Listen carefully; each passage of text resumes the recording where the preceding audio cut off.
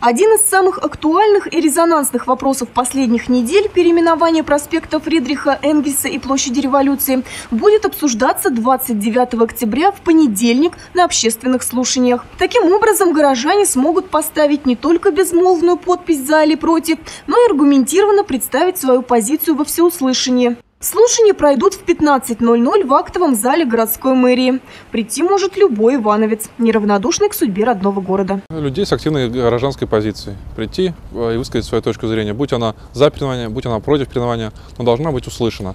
Разные позиции, э, разные изложения